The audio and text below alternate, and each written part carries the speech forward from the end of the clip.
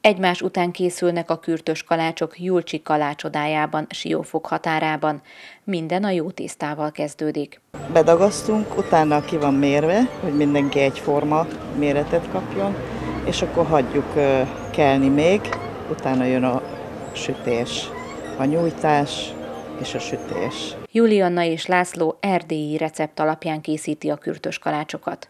Nem csak mondjuk, hanem eredeti Erdély is, mivel a páromnak a nagymamájának a receptjével dolgozunk, aki Erdélyből származik, és a nagymamája szintén erdélyi volt.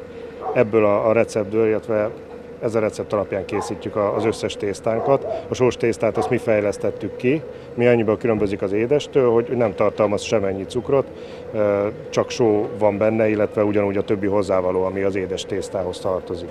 A liszt, a tej, a tojás és a vaj. Hétféle ízzel dolgoznak, így kérhető mákos, kakaós és fahéjas finomság is, de különleges málnás is kapható. Ez egy liofilizált málna, a liofilizálásról annyit kell tudni, hogy ez egy fagyasztva szárítása a folyamat lényege. Minusz 140 fokon fagyasztják a málnát, vákummal szívják ki belőle a nedvességet, és ezáltal megmarad neki a színe, íze, valamennyi vitamin, meg ásványi anyag is, viszont a, a, az illata, amikor a friss, forró karamellre rászórjuk, rászórjuk, teljes mértékben vissza tudja adni az eredeti illatát neki.